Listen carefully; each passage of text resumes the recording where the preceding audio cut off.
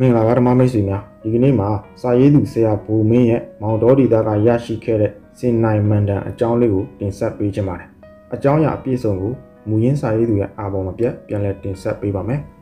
ရခိုင်ပြည်နယ်မောင်တော်ဒေသရတစ်တောင်မြို့နယ်အနောက်ဘက်မေယူတောင်ချေကကြီးရွာတရွာဖြစ်တဲ့ပြင်ရှည်ကြီးရွာမှာရှင်ပြုအလူတော်မင်္ဂလာပွဲကိုစာရေးသူတွားရောက်ခဲ့ပါတယ်အလူရှင်တွေကစုပေါင်းလူဒန်းတဲ့အလူပွဲဖြစ်ပြီးဆွေမျိုးမိတ်ဆွေတွေစုံလင်ကြပါတယ်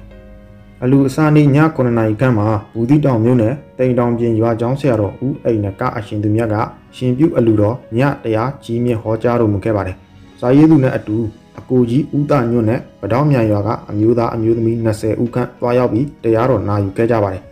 ည9နာရီခန့်မှာသုံးဖာလုံလောက်သာဝေးတဲ့ပြင်ရှည်ရွာကနေပတောင်းမြိုင်ရွာကိုတရားပွဲအပြီးမှာလာခဲ့ကြပါတယ်။ပတောင်းမြိုင်နဲ့ပြင်ရှည်ကျွေးရကြားမှာမေယူတောင်ကျောကနေစီးဆင်းလာတဲ့ နဂါမတောင်ကြီးတကုံနဲ့ဆက်ပြီးစမ်းကြောင်းလေးတစ်ခုရှိပါတယ်။နွေရာသီမှာရေဒူးစစ်လောက်သာရှိပြီးကျွဲနွားစိတ်ဝက်ငှက်စတဲ့တလိပ်ဆန်တွေတောက်သုံးကြပါတယ်။စာရေးသူနဲ့အကူကြီးဦးတာညွတ်တရားနာပြီးတရားသဘောတွေကိုအပြန်လန်ဆွေးနွေးစကားပြောရင်းနဲ့ပြန်လာခဲ့တဲ့နေရာမှာစမ်းချောင်းလေးနာအရောက်မှာမန်ဖီတဲ့အတန်ကိုကြားလိုက်ရပါတယ်ချက်ချင်းသွားနေတဲ့ခြေလမ်းတွေကိုရက်တန်းလိုက်ပြီးအနောက်ကလိုက်လာသူတွေလည်းအားလုံးရက်တန်းလိုက်ကြပါတယ်အကူကြီးဦးသားညွန့်ကဓာတ်မီထိုးပြီးတော့ကြီးလိုက်တဲ့အခါမှာ စင်သားအမိနှကောင်ရေတောက်နေကြောင်းကိုတွေ့ရပါတယ်အကူကြီးဦးသားညွန့်က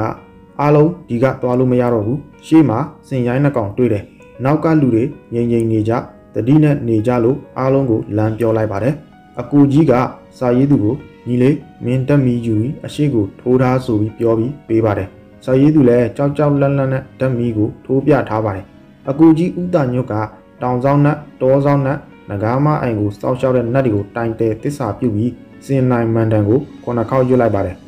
မန်တန်ကတော့အုံဟတ္တိပတ္တလာဂာမန်ကိစ္စဟိပွာဟပွာဟမန်တန်ရွတ်ပြီး10မိနစ်အကြာမှာစင်သားအမိနှစ်ကောင်ကလူတွေကိုရန်ရှာမှုမပြုတော့ပဲမေယူတောင်ပေါ်ကိုလဲပြန်သွားပါတယ်အကူကြီးဥတညွတ်က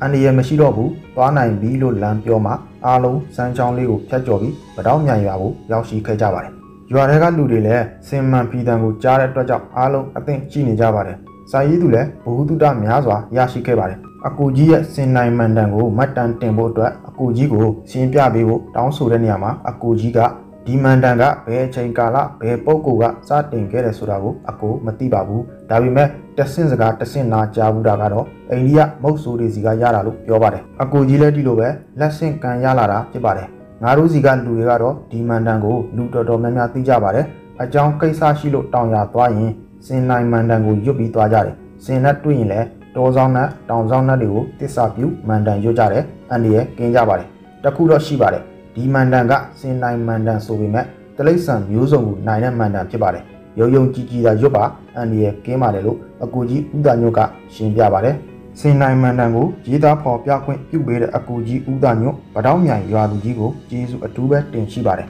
မိတ်ဆွေတွေထဲကတောတောင်ထဲသွာလာလှုပ်ရှားတဲ့သူတွေတလိษံတွေနဲ့နီးနီးကပ်ကပ်ရှိနေသူတွေအတွက်အကျိုးတစုံတရာရရှိမယ်လို့မျှော်လင့်ပါတယ်အားလုံးစင်ပြေကြပါစေခင်ဗျာ